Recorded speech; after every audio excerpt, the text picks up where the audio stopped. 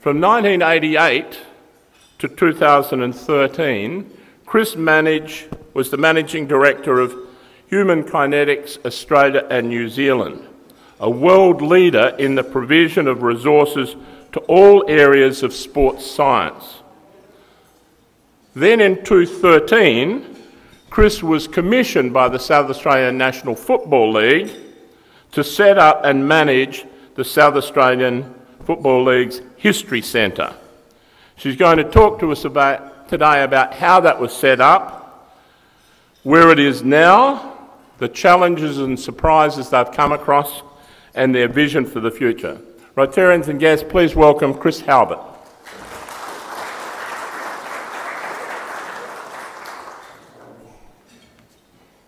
Thanks very much, Darcy. Now, I hope you can hear me because I don't want to be too loud. I'm not too keen on microphones, so am I fine here? Okay, thank you very much for the opportunity to speak to you today. I'm pretty impressed that this Rotary Club is 93 years old because, um, in the scheme of things, that's some history. And then I look at the SANFL History Centre, which is coming up to 140 years next year. Um, I've got some, I brought some photos from the 20s in case you wanted to look, uh, have a look and see what people were wearing when they played football when this club started. Um, this started because when we were going home from um, Hall of Fame dinners or Magarey Medal dinners, I would say to John, someone's got to do something with this memorabilia because I would look around the room and there were all these people who have contributed not only to football but to the state and also many areas. And they would be this fantastic history there. And we knew several people who didn't quite know what to do with their extensive memorabilia. So this went on, and I'd say somebody's got to do something with this. So when I decided to retire, because my bucket list was getting very long, um, I submitted a first project to the SANFL Commission, which was to update the Magarey Medal Book. Now, there's a copy of that over there, which was by John Wood, and he died in 1987. So the book was the history of the Magarey Medal up until that point. So it really needed to be updated. It needed to be updated as an e-book so that we could add to it each year. And we've got a wonderful uh, uh, example of that on the, webs on the SANFL website. Um, Jeff Kingston wrote the text. John Halbert proofed it, Brian Charlton took amazing photos of the Magarey medals, and Phil Gib Gibson assembled it as an e-book. So it's really worth having a look at. It's only $9.95, but it's fantastic. Then after that, um, I wrote to the Commission and said, why don't we set up a history centre? Because that had been talked about over the years, but there were always other, um, other priorities, including the development of this eventually. Um, and to their credit, they suggested that that would be a good idea, and I would like to commend John Lyons and Diane McCaffrey for being part of pushing that, um, that project. So thank you very much, John. Um, we set up in two offices at Football Park, and that was fine to start off with, but then we kept finding more photographs and items, and more kept coming in. So eventually we had items in about five different offices. And that was fine until some of my volunteers who are no spring chickens would get lost going between office to office. So then we decided that perhaps we'd better have, have everything consolidated. And also Football Park was being wound down. So we looked around and found premises at Bowden in that new development. And fortuitously, we are above the Lutheran National Archives, which seems a pretty good match for us. Uh, we've been there almost a year now and it's working very well. We have an enormous range of items. Um, I think about 5,000 at this time and it's increasing. That's not counting some that we haven't even got to yet. So we've got this process where, that we work through and then photograph them all and enter them. So it's a long process. I suspect that we'll double or triple that over the next few years if we all live long enough. Um, we have wonderful photographs from the 1880s. I've brought one that says um, Menindee um, uh, Football Club, and it's the precursor to Adelaide Oval, and that's from the 1880s. Um, and then we've got some wonderful overhead shots of Adelaide Oval in the 50s, uh, 50s and 60s, um, with, and they've got information like the total number who attended, the takings, and um, it's just superb. So hopefully you'll be able to see some of those next year. Um, they don't only show the oval, but they show North Adelaide and the buildings at that point in time, especially the one from 1946, which is interesting. And then it also shows the city buildings and further south. So they are really worth seeing and they're about this big. So they're superb. And there are a lot of people who come in of a certain age and say, I was in that crowd, but they haven't identified their exact spot. Um, there are also wonderful collages of championships which began in 1908. And so they periodically every three years, and they're players, administrators, scores, and beautifully done. So some of those need a little bit of tender loving care, which we'll get to, but they really are spectacular. We also have, as you would expect, we have clothing. We have a diverse range of Guernseys, socks, shorts, a couple of hats, boots, ties, blazers, and many footballs. Over there, I have brought a white football which has got many Magarey medal signatures on, and they go back to people like Brock from 1940 um, and people who I've come across over the years. I mean, I've only been going to football for 49 years. Um, and the other little football was actually produced when Lindsay Head won his third Magarey medal, and that was John Mahaffey's sports store produced that as a as a, an item, um, special item. So it's a dear little thing about that big. Um, one other area that we've got is the plans, the photos and the plaques about the development of Football Park, including the lighting, um, problems, etc., etc. We've got lovely photos of Sir Mark Oliphant and the shovel um, digging the first sod. And that, that collection is unique because we will not be finding any of those items anywhere else. And so they've been digitised as a program, but also the items are kept. Um, and that, that is unique. Um, another significant section of this collection, and we found that it's not a matter of items just coming in, but then various projects develop from there. Uh, we've got the digitisation of about 135 scrapbooks, ranging from Fred Saxby's 1920 something, including Hartley Bagshaw, that's Paul's dad's 1940s scrapbook when Sturt won the Premiership, and some from, some from Peter Darley, Philip Nelson, Rick Davies, Jim Dean, Malcolm Greenslade, John Halbert, Bob Hank, Don Roach, Paul Bagshaw, Bob Shearman, Peter Carey, Ron Hewitt, Malcolm Whitford, Elmore Lesky, and Malcolm S. Jones. Um, I, we haven't got Lindsay Heads yet because we just need to wait a bit until we've got space, but he's got 14 scrapbooks that wide, and so has John. So there's a lot of history um, in all of those scrapbooks. And what we'd like to do for the exhibition, which I'll explain in a minute, for next year, is have screens where you can go on scrapbooks then you can identify the individual you want to see the scrapbook about. Then you might identify the period, and then you can tap on that and then turn it to see the information. And perhaps people won't want to go home, they'll just want to stay at the State Library for weeks. Um, so, and also to do these, this variety of projects, there are approximately 25 volunteers with tasks ranging from initial cataloguing, which can be a little um, unpredictable and creative when the chaps are talking about, oh, do you remember when he kicked five goals from the forward pocket and it was raining, and then they get a little distracted. But that's fine, it's all good. Um, then we have a group of people who enter this data into the computer, having photographed it too, so that we can search. And then we have digitising scrapbooks, and we have cataloguing umpire materials and now we've got a couple of people who are actually specifically only doing research. So that is our structure at the moment, and it's taken a while to get to that point, um, but it's really worthwhile to, for people to develop their own skills and then decide what they want to do at, at that time. Um, one of the other one of the other parts of what we do is we heard that Channel 9 and Channel 2 were no longer needing their films and tapes of football from 50s onwards. So we have uh, signed contracts with them so that we can't sell anything, not that we want to sell it, and we have footage from 9 to 10 and 7. That has been catalogued and now we're about to start the process of digitising it because we'd like it out on YouTube in the public domain. Um, and that is actually the easy part. The hard part is the one inch tapes, uh, film, and all of the other specialist areas that need um, special machines to actually play them.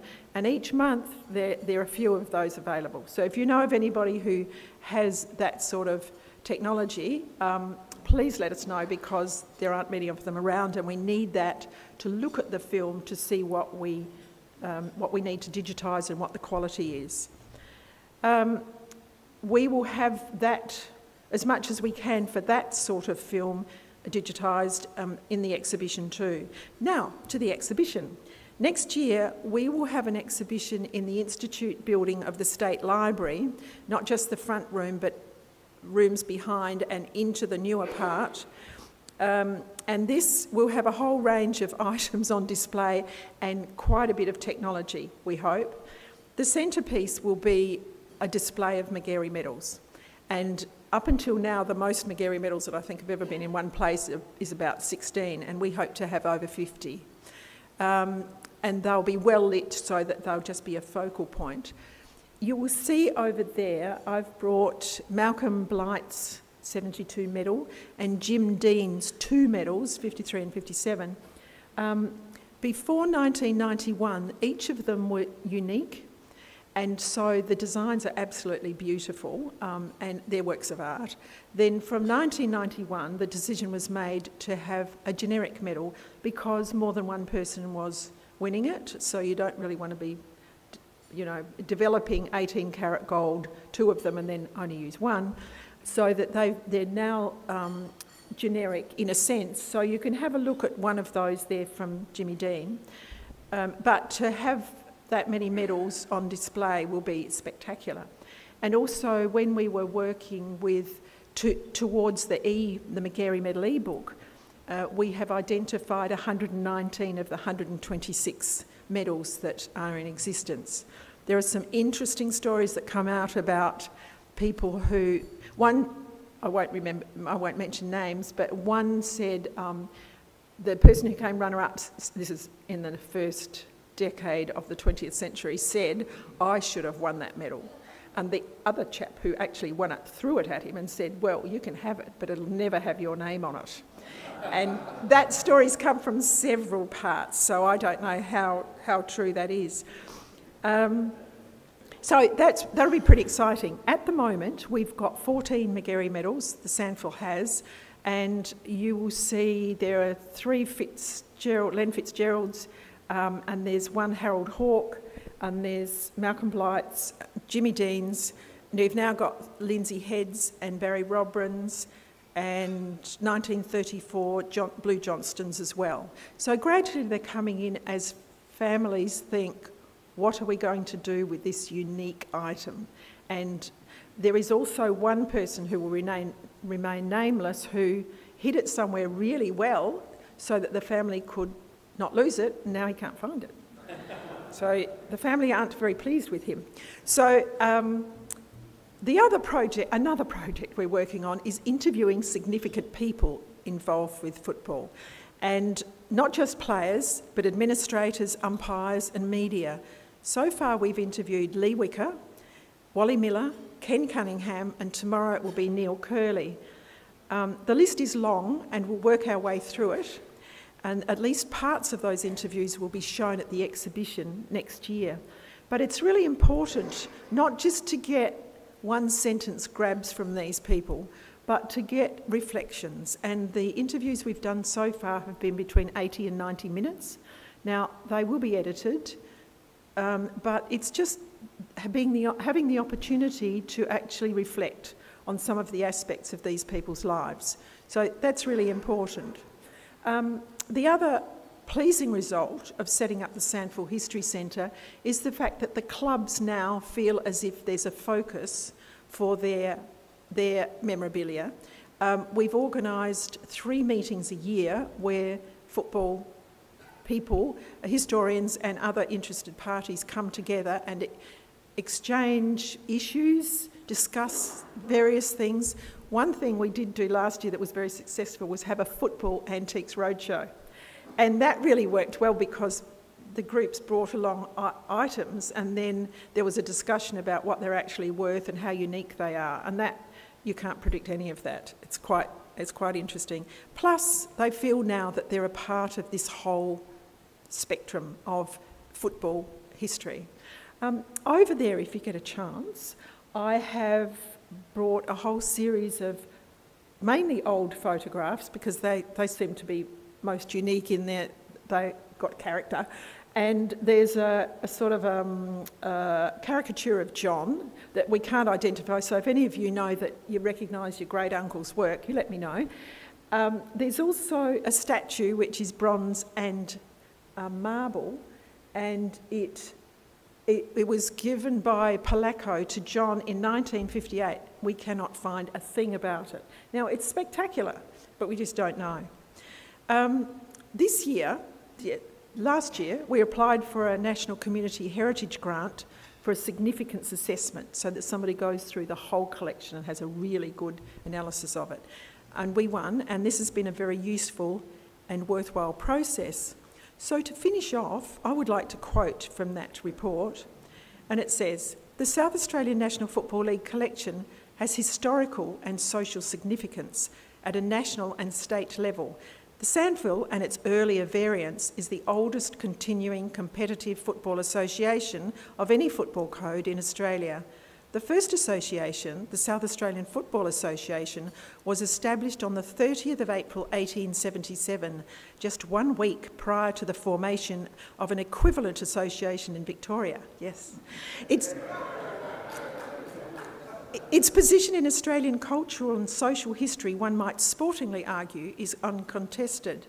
Although one might argue that the collection is predictable in that the types of items in the collection are found in most sports-based collections around Australia and indeed internationally, the significance of the SANFL collection is drawn from its particular historical context. Australian football was played within the framework of the working, recreational, social, demographic, democratic, economic, political, patriotic and physical environments that defined and continue to define South Australia and its people. Thank you.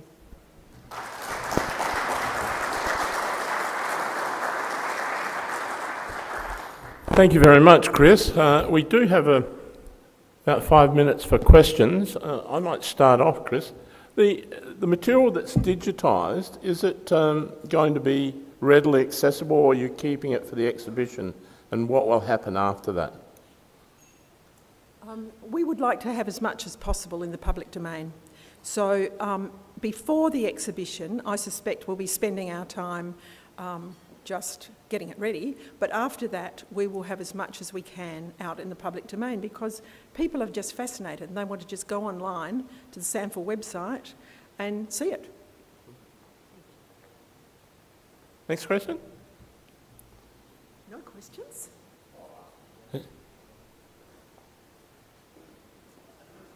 Chris, I understand that in the 1950s the Port Adelaide Football Club won six premierships in a row. Sorry, I didn't. Wait, waited for the reaction. Now we'll carry on. And uh, you know, in the 60s, Sturt was five in a row. Do you have much on, on those two magnificent eras of football? I'm not sure that he's going to like my answer. We have a lot on the Sturt, um, but.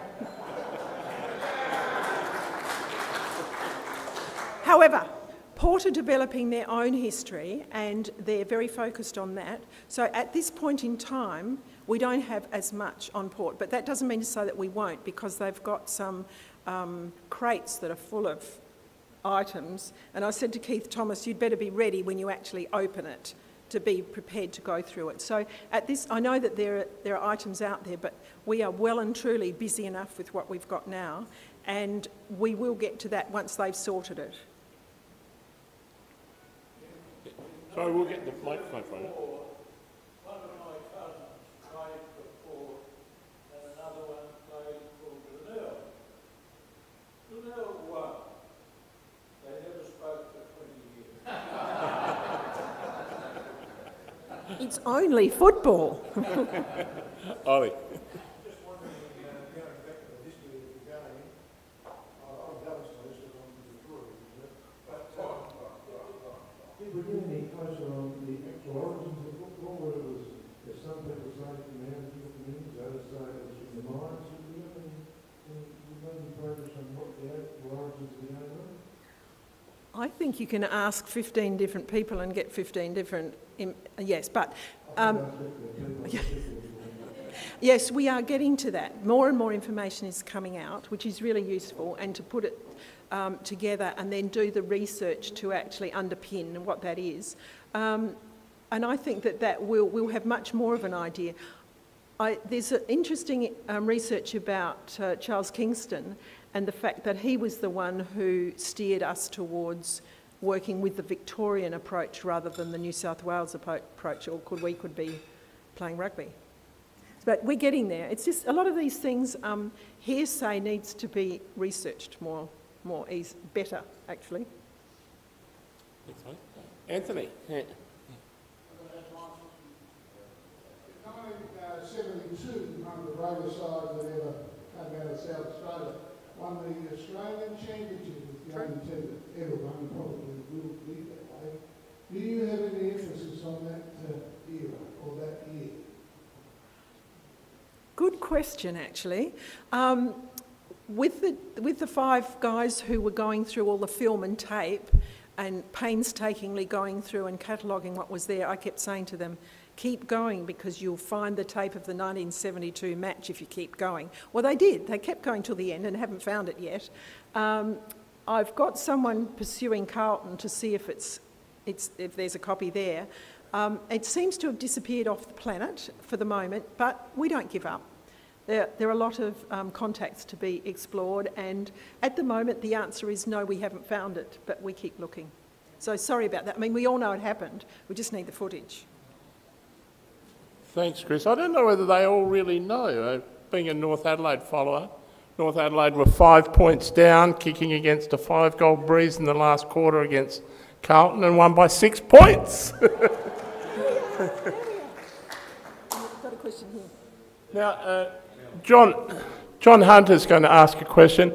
John, if you didn't realise, was a top ruckman also for North Adelaide in the 50s, and he's brought some of his memorabilia for Chris to look at today. John? This is a sort of part question and uh, part story. Uh, I came to Penrith as a chap called Mickey, looked after my family, and the family looked after my family was very young, and he had just started Victorian Water for a while. And anyhow, he became a detective at the fire squad of Victoria, and he was a doorman for Collingwood. And Collingwood came over and played Sturt, remember? I just had to walk by, but he was there outside, and said, "I'd like to come in and meet Bobby Rose." So I went in and met Bobby Rose, and looked at him, and left him, and, and uh, so I went at half time as well. But anyhow, they were slaughtered Sturt in this particular game. remember that. Sturt went out in this game and had the handball absolutely annihilated, seven goals in the first quarter. And they went on at half time, Tommy Grace just couldn't believe it. And we went on, Sturt went on hammered them with magnificent handball and football and won the game. We went in uh, after, and and this uh, bloke said, can't believe you're going over to South Australia to play such good football. So good luck to Sturt, who made a comment on that game. There are some things that are beyond my knowledge. Um, and I've got a lot of football by osmosis, but I don't, I, I, I can vaguely remember that, but I'm sorry, that's all I've got. If you ask my husband, he would know every kick. Yeah, yeah, yes. Sorry about that. Oh, hush up. There's one over there. Bob?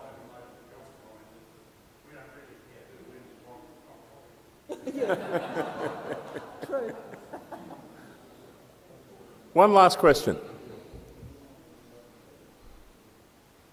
Okay, if not, Chris, thank you. Oh, sorry, Madeline? Madeline. Uh, I uh, Oh, sorry. you'd like to put this, little story into your archives. In 1962, I was playing football for Yonville Football Club, the coldest place in the state. I went up for a mark, came down with six bucks on top of me. When they dragged me off the field, the, uh, the trainer attended to me. He happened to be the local vet. And he- as he was strapping my leg up, he said, uh, now listen fella, if you're a horse, we give you two chances. If I either shoot you or put you out to start. I said, well, if I've got a choice, don't shoot me. Thanks, David. Finish up or not? Madeline, we'll gi- we'll give you one last chance. Chris, I know you're after Alec Mills, you're from the Great Mill Club. Uh, Rosie Mill, Rosie Mill actually wears it on the train because it's such a beautiful blue mill. It's- I know you're trying to get it. Well, what we're doing, because the State Library don't want the burden of every medal there being genuine, um, we're getting some replicated, which takes the insurance burden from them, but also is a cushion in case something happens to the real thing. So um, we'll be pursuing some of those for the exhibition. Thank you very much, Chris, and thank you for a very interesting talk, and we wish you well getting everything together for your exhibition next year. Please join me in thanking Chris.